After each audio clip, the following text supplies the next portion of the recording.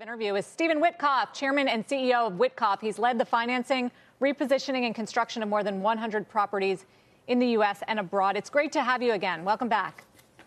Thank you, sir. thank you, Sara. Thanks for, for having me. So, so do you think all this demand is, is pent up demand from the pandemic, or do you see a real sustainable recovery lasting here?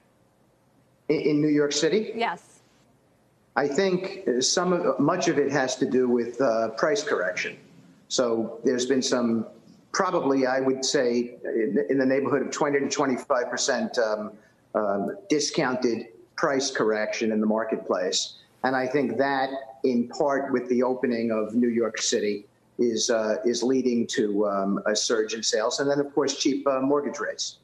So, as a developer, is it is it an exciting time to to build and, and do new projects in a place like New York City, or not? No, no, unfortunately. And I say it sadly because, I, you know, I was born in the Bronx and I spent my entire life in New York. But um, no, I don't. I don't think um, the risk reward is is on the side of development today in New York City. What, what Steven, would you say was the peak to, to trough price decline in, in prime New York City, and, and has it bottomed now? You know, Wilfred, I, I would say it's at least 25 percent and in and in some projects, at our project at 111, it was probably in the neighborhood of 20 percent. We really built great project, Fisher Brothers, uh, Howard Lorber, and us. It was it was solid product uh, product, but but you know the demand just wasn't there. Um, so I would say, yeah, it's probably discounted in the best buildings as much as 25 percent, and in other buildings where they didn't have a good selling strategy, I think it's been even more impaired.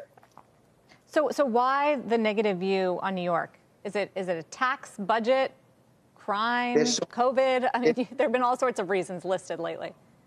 No, it's not COVID. No, COVID affected everybody and, and was a was was a was a horrible event for everybody. No, it's it's it's taxes. It's the way the government is run. It's the fact that there used to be a public and private compact for the betterment of the city.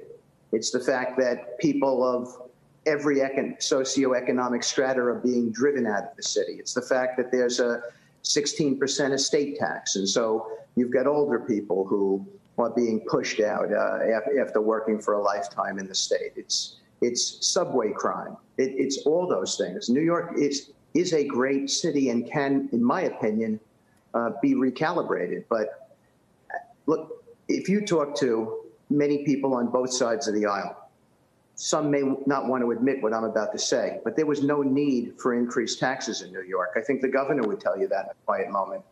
There was a bailout from at the federal level, and they didn't need to push it any further, and yet they have. Add to that rental regulation. There's a perceived anti-business climate in New York today whether it's the Amazon deal or the industry. People have this feeling that that business people are not welcome there. And whether that's a misperception or a misimpression, it still is a perception and an impression by, of, by many. Shepard Smith here. Thanks for watching CNBC on YouTube.